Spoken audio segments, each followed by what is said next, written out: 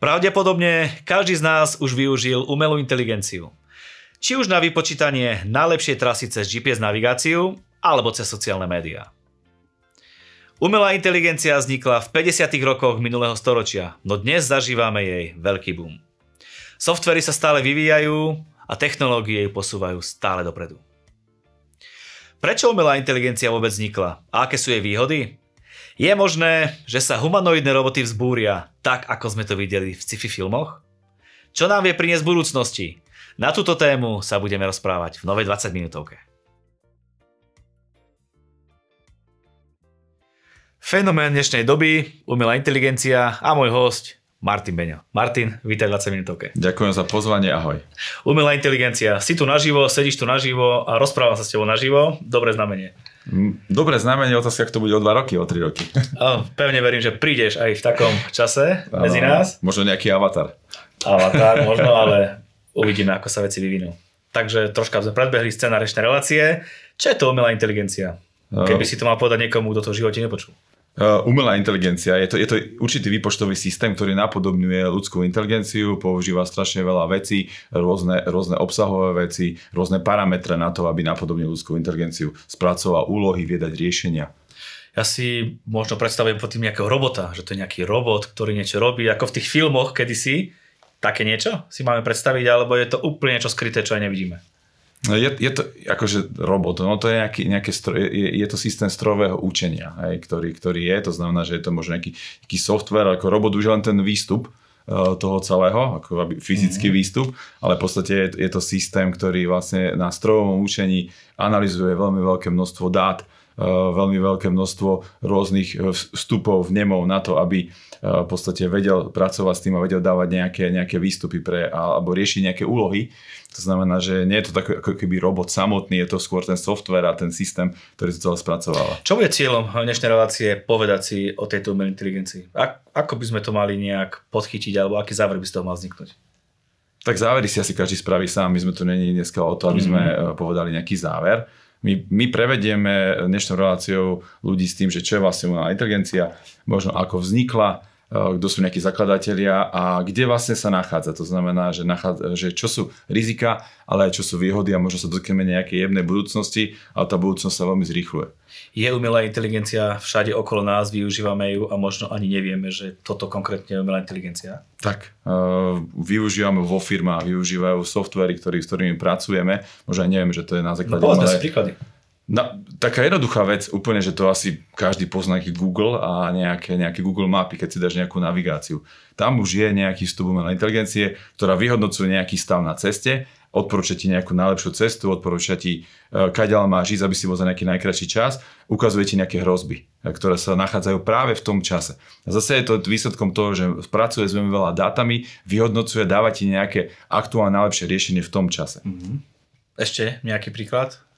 Tak Niekto jo. možno si môže povedať, ja ne, nepoužívam Google mapy a nechcem, aby ma umelá inteligencia nejako ovplyvňovala. Dá sa? Tak že... v sociálnych médiách asi viac netreba hovoriť. Aha. Každý z nás používa sociálne médiá, alebo teda väčšina z nás, aby sme to nedávali že každého do toho, ale väčšina z nás používa sociálne médiá, používa telefón, smartfón, hmm. na to, aby sme mohli komunikovať tam veľa aplikácií, všetko je na základe umelej inteligencie. Niečo viac, niečo menej.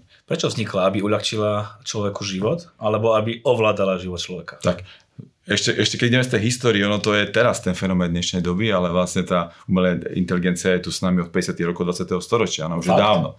Je to tak, len eh, prečo to je vlastne teraz taký fenomén? Pretože neskutočne sa zrýchlili softvery a hardvery pre, pre počítače, pre celý ten systém, to vidíte sami.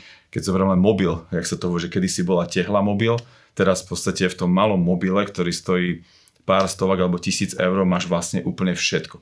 Vieš tam robiť, vieš tam tvoriť, vieš čokoľvek. A to je, to je tým. To znamená, že tá doba sa tak extrémne zrýchlila na tej softverovej, hardverovej úrovni, že to teraz dáva veľký prísľub na to, aby tá umelá inteligencia mohla nastúpiť cieľom umelej inteligencie, aj vy keď ho vytvorili, je to, aby ľuďom pomáhala.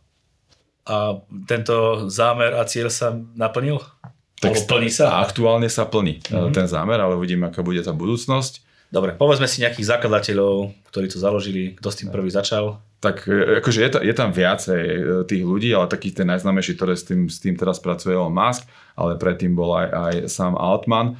sú tam určití veci, ktorí sa napríklad zaoberali neurovedou, tak tí zakladali tiež vlastne systém umelej inteligencie. A len keď sme hovorili o tých počítačoch, tak ti to poviem na jednoduchom príklade, že ako to celé sa vlastne vyvíjalo od, od toho začiatku.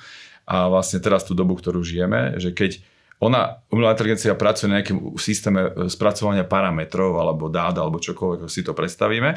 V roku 2018 pracovala pracovala, spracovala nejakých 175 miliónov nejakých parametrov, aj, ktoré, ktoré vie spracovať, vyhodnotiť a posunúť ďalej nejaké riešenie. Už len v roku 2019 to bolo 1,5 miliardy parametrov, ktoré vedela spracovať, vyhodnotiť. Ak sa pozrieme, 2022 bolo 175 miliard a v tomto roku 2023 uh, vie pracovať až so 100 biliónom parametrov, vie ich spracovať, vyhodnotiť a dať nejaké riešenie. Ako sa tam tie informácie dávajú? To je pár ľudí, ktorí sedia za počítačom a nejako robia. Nie, nie. Povedzme si o tom viac, lebo naozaj stále sú možno ľudia, ktorí to celé nedáva ani obraz, ani zvuk. Takže kto za tým stojí? Kto tam dáva tie údaje? Tie, tie údaje vlastne spracovať, ktoré sú tam dostupné. To znamená, keď sú vo firmách nejaké údaje alebo v činkovách, tak to, čo tam nalejeme, tie dáta, tak s tými ona pracuje a potom vyhodnocuje a, a dáva nejaké riešenie. To znamená, že človek dáva tie dáta do, do umelej inteligencie a aj bere historické veci, to znamená, že ona skúma do histórie a pracuje s tými dátami a s tými informáciami, ktoré má, alebo s tými parametrami. Poďme na tie výhody. Aké vidíš výhody, alebo aké výhody sú považované uh, umelej inteligencie? Yes. Uh, veľká výhoda umelej inteligencie je, že nás skracuje čas na veci. To znamená, že keď použijeme umelú inteligenciu, vieme za extrémne krátší čas robiť nejakú vec. Poviem príklad, že si robíš prípravu na 20 minútovku, tak cez umelú inteligenciu, ak si možno, že si urobil kedysi, ja neviem, pol hodinu, tak cez umelú inteligenciu by si si vedel spraviť za 3 minúty. Uh, mm. Použiješ ju na to, aby ti urobil nejakú prípravu, dala ti nejaké otázky. Stále ale platí to, že ty ako človek musíš vymysleť, čo sa chceš umelá inteligencie spýtať, na to za teba nevymyslí. Hej? Keby si povedal, že umelá inteligencia urobí 20 minútovku na, na umelú inteligenciu, tak ona ti môže čokoľvek odpovedať, ale nie je to to, čo tam chceš. Musíš tam nejaký úvod, nejaký jadro, musíš vymyslieť tú štruktúru, čo sa chceš spýtať, na čo ti má odpovedať, na to, aby to malo pre človeka nejakú hodnotu. Vieme sa s ňou aj rozprávať? Vieme sa s ňou aj rozprávať, umelá inteligencia. Eh, je to už taký štandard, že vo firmách, eh, keď voláš na call centra, tak s tebou veľakrát hovorí umelá inteligencia. Mm-hmm. Zase je to o tom nahráš, pracuješ na tom, dávaš tam rôzne vstupy, nejaké dáta, pracuje na tom, čo dostala z tej firmy a s tým pádom vie s tebou komunikovať. To znamená, že áno. Poslal si mi taký zaujímavý rozhovor, kde normálne moderátor sa pýtal umelej inteligencii rôzne otázky a normálne mu odpovedala. Áno, umelá inteligencia hovorí v jazyku, v ktorom hovoríš aj ty. Samozrejme nie je to dokonalé, to znamená, že vie, sem tam je tam počuť nejakú, možno taký brev alebo nejakú angličtinu, ale je to veľmi, veľmi dokonale teraz práve na to, že vie imitovať ľudský hlas, vie imitovať aj tvoj hlas, keby si chcel.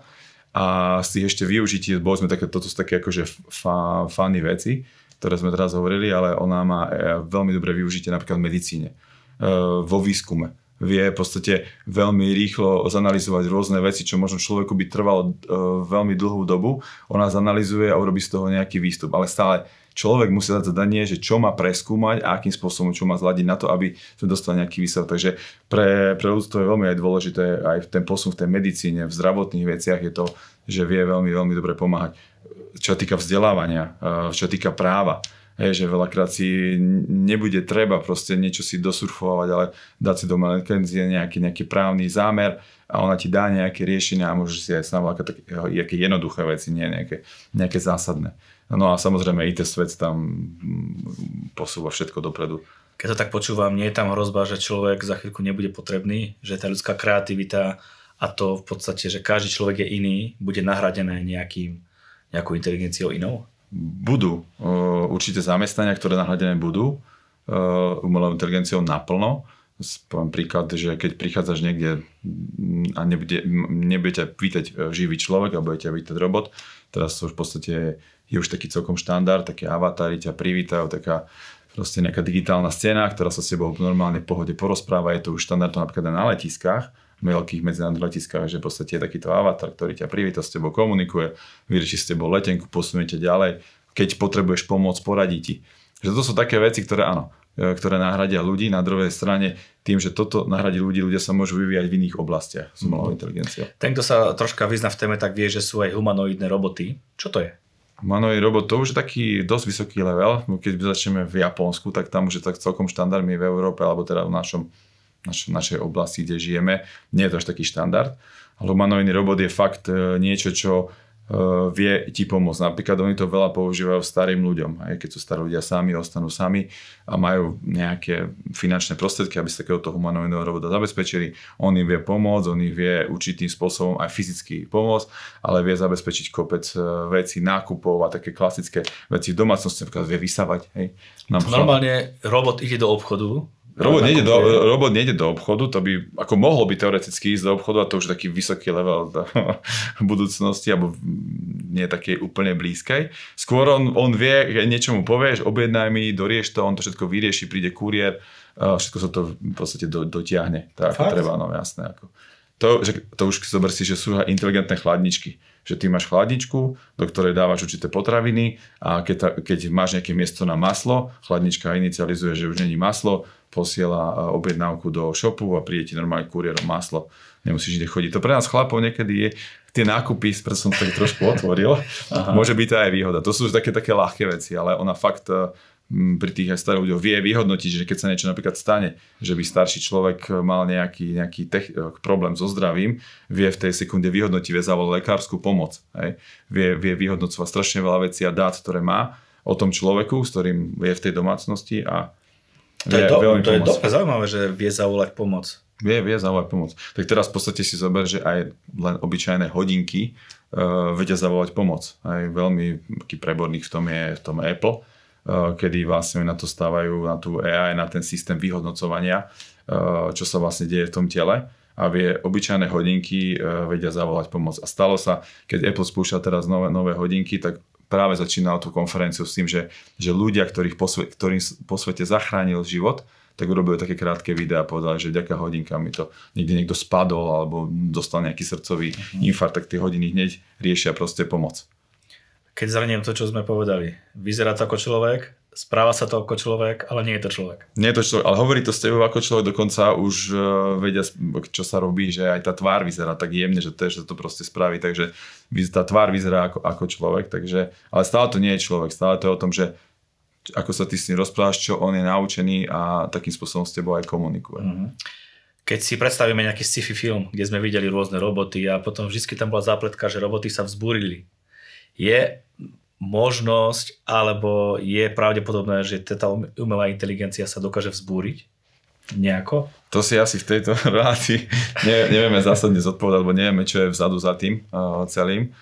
Ak naražaš možno tak, na tie hrozby, ktoré by z toho, mm-hmm. toho mohli vznikať, tak jednoznačne uh, hrozby sú v tom, že umelá inteligencia je už tak dokonalá, že vie podporiť rôzne hoaxy alebo vie podporiť rôzne konšpiračné teórie, s tým zmyslom, že tvoj hlas 20 minútovky prerobí na nejaký teoretický blúd mm. konšpiračný ty to, a ti to povie, akože to podá Maroš Kapusta. E, toto je ešte celkom pohode, ale už ten vyšší level je toho, že zoberie tvoj obraz, zoberie tvoju tvár, naučí sa tvoju mimiku, e, dokonale sa naučí tvoj hlas a tvojim hlasom a tvojou tvárou povie, že Zem je plocha a budeš to tvrdiť, že to takto proste a 20 minútovka bude o tom, že Zem je plocha a ona proste plocha je a hotovo. A keď zabrí z vesmíru, že guláta. Toto je, to, toto je to veľké riziko, to znamená, že tie firmy, ktoré sa tým zaoberajú a tí, tí zakladatelia, ktorí do toho investujú peniaze, Uh, musia prísť nejakou formou regulácie, pretože keď to nebude regulované, toto riziko tam je. Človek už nebude vedieť rozpoznať veľakrát, že čo vlastne je reálne a čo je, čo, čo je pravda a čo, čo je lož. Čo toto je, toto je jedno z veľkých rizik a jedno z takých tých svetových rizik a veľkých rizik je to, že sa to dá použiť na vojenské účely. Na jednej strane to vie chrániť uh, veľmi, veľmi dokonale, tak pri vojnovom konflikte to vie uh, zobrať územia, vie to analyzovať, vie určiť... Tak ale obidva budú mať umelú inteligenciu, aj obrana, aj útok. Teraz, aj obrana, aj útok. Ako no, sa dohodnú, ale... že alebo komunikujú, jedna vie o druhej, alebo nevie aj na druhej strane, ak niekto ste bude chcieť zautočiť neplánovane na nejakú, nejakú časť cez umelú inteligenciu a ty o to nebudeš vedieť, tak potom už môže prísť ofenzíva, ale tie, za tý krátky čas, čo môže narobiť tie škody, tá umelá inteligencia takéto použité na, na zlé vojenské účely, nie na dobré, tak nie je to, nie je to, nie je to sranda. Aj to si zoberme, že ani, ani nie je to celkom o umelej inteligencii, ale vojnu na Ukrajine e, riešili drony do ktorej si ani predstaviť, si myslíš, že tanky a proste veľké strely balistické, príde tam dron za 100 eur a vyrieši tank za, neviem, 20 miliónov. Dolárov, mm. hej, bez problémov ho porieši. A to je o tom, že dá, dáš umelej inteligencii nejaký návod, akým spôsobom, kde, ako zautočiť. Ona, ona to, tie, tie drony to už teraz vedia, normálne urobia normálne taký pakt dronov a, a vedia proste ísť. To sa stalo v časti aj v Izraeli, tam rôzne veci. Mm. Takže toto je to, ako to riziko, ktoré tam je, ale hovorím, to my dva to nevyriešime, to musia vyriešiť tie vlády v mocnosti svetových na to, aby sa takéto dielo ne, nestalo a stále za všetko umelou inteligenciou je človek. To znamená, to, čo tam nastaví, to, čo mu naučí, ona mu to dá. Veľmi jednoduchá otázka. Viem si ju nejako kúpiť, tú umelú inteligenciu, viem s ňou komunikovať. Ako? Ako sa k nej viem dostať, obyčajný človek? Tak z tých takých najštandardnejších je chat GPT. Tá je v podstate vie byť aj zadarmo, ale vieš si kúpiť nejakú takú verziu.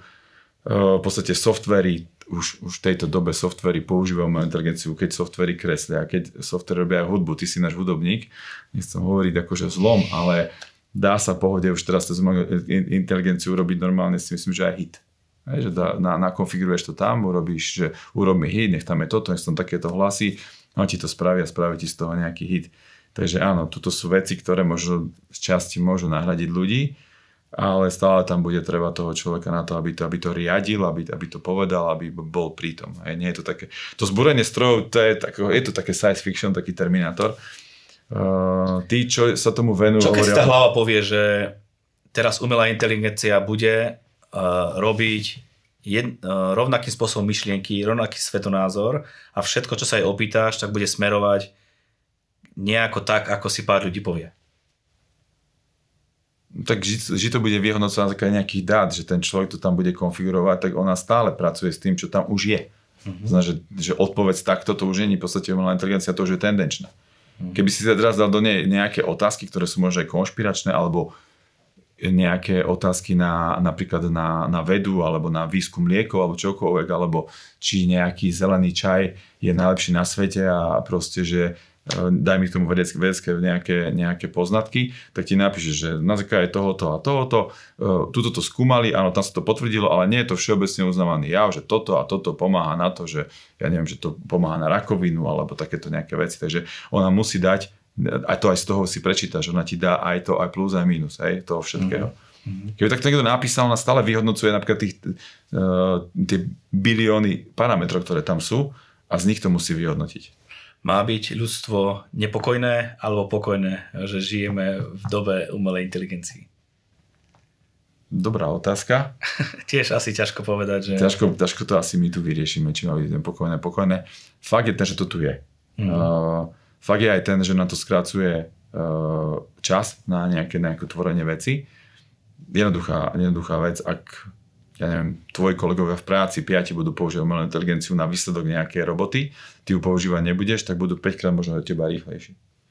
Tak je otázka, že či to chceš používať v nejakom režime, v nejakej forme, alebo nie. Študenti si budú slohové práce písať pomocou Môžu si, inteligencie. Ale, ale stále, stále je to o tom, že, že, že musíš dať tie, že čo od toho chceš. Nie, že urob mi prácu na druhú svetovú vojnu. To je strašne málo. Musíš povedať, o čom má byť. Musíš sa tým zamysleť ona ti skráti ten čas toho hľadania, ale ten výsledok akože, jasné, vie ti zohnať čokoľvek, keď to niekto chce opajcovať, tak to opajcuje, to v tom asi uh-huh. žiadny problém nie je, hej. Je to o tom, že ako ten, to aj teraz tak je, hej, keď chceš niečo oklamať, tak si kúpiš diplomovú prácu, kúpiš si nejakú prácu, dáš to, dáš kamošovi dve, tri piva, on ti napíše prezentáciu v škole. Vieš to taký istý, taký istý spôsobom obísť, lebo uh-huh. to je tvoja mentálna nastavenie, to chceš obísť. Ako má podľa teba budúcnosť umelá inteligencia? Hm, tak eh, je, je to veľké, to znamená, že bude to štandard vo firmách, ako to je, ako sme už spomínali, aj už tí, tie, hm, keď niekde voláš, tak s tebou volá vlastne. Veľakrát si ani nezistíš, že s tebou volá nejaká umelá inteligencia, len eh, možno až viacerými iteráciami otázok príde na to, že počkaj, to mi niečo mi tu nesedí, hej. Ale dlho ti to trvá. Hej, to musíš mm-hmm. proste, keď ti nejakú reklamáciu alebo čokoľvek, tak ona ťa navedie, pomôže ti. Takže to, že je to tu, bude to vo firmách, bude to zjednodušovať veci, bude to zrýchovať veci. Eh, napríklad Microsoft, eh, možno sme nespomínali tie firmy Microsoft, Amazon, Google, aj Apple, aj Nvidia, ktorá robí čipy, jedna z najväčších firiem, všetci to používajú, bez to nedá. Napríklad Microsoft to bude dávať, a už to aj dáva do, do MS Office, čo každý robí s Wordom, každý robí s PowerPointom, s Excelom, tak to tam už bude a už to tam idú dávať napríklad takým spôsobom, že budeš si napríklad naháčeš si nejaké obrázky do, do, do nejakého súboru, normálne na svojom disku a povieš mi, správ mi z toho prezentáciu o tomto a o tomto. Ti normálne pripraviť svoju prezentáciu úplne bez akýchkoľvek problémov a ty ako človek si potom budeš pracovať, upravovať si to a riešiť veci. Takže potom si povieš, toto som urobil ja? No, no urobil, lebo tá myšlenka je tvoja. Mm-hmm. To, že, to, že, to, že, ti, e, že, že si skrátiš ten čas toho, že to niekde hľadáš v súboroch a neviem, to asi není moc inteligentné, že e, hľadať obrázok, taký obrázok, hej, že to proste, to sú obrázky, to len ten nápad, hej. Jasné. Či ten obrázok je správny, či je správne vyrezaný. Veľakrát, keď robím prezentácie, veľa času strávim práve s tým, že to musím orezať alebo čokoľvek, aby to vyzeralo dobre. To všetko spraví ona. To je ten, a ten čas máme potom pre seba, môžeme sa učiť, vzdelávať. Hej, vzdelávaní má nekonečné možnosti umelá inteligencia. Mm-hmm. Je, to, je to o nás, hej, že ako, ako využijeme pre svoj prospech. Našim cieľom dneska nebolo povedať ani nejaké benefity, ani nejaké plusy, minusy. Skôr bolo povedať, že je to okolo nás, že je to tu. A ako by si vedel zhrnúť teda v podstate obsah dnešnej relácie, čo bolo povedané? No, ja poviem to veľmi jednoducho že ak by sme mali aj najinteligentnejších ľudí v jednej miestnosti, ktorí prečítali všetky knihy sveta, dokedy ich nedáme, nespojíme, neprepojíme s reálnym životom, v ktorom teraz žijeme a nevyužijeme tie skúsenosti na to, tak nám to bude na nič. To znamená, že znalosti a prepojenie na reálny svet je ďaleko viac, ako je, ako je tá samotná inteligencia. Mm-hmm. Takže uvidíme, ako sa bude vyvíjať budúcnosť a pevne veríš na budúce, to budeš sedieť fyzicky a budeme sa rozprávať fyzicky. Ďakujem ti veľmi pekne za tvoj čas, prajem veľa úspechov. Ďakujem za pozvanie, majte sa. Ak podporujete 20 minútovku, podporujete to, ako sú menené ľudské životy, ako ľudia prichádzajú k Bohu a ako sú uzdravovaní. Za čo vám patrí veľká vďaka. Ďakujeme vám, že ste s nami každý týždeň, žijeme vynikajúce dni, ale majte na pamäti, že tie najlepšie sú stále iba pred nami.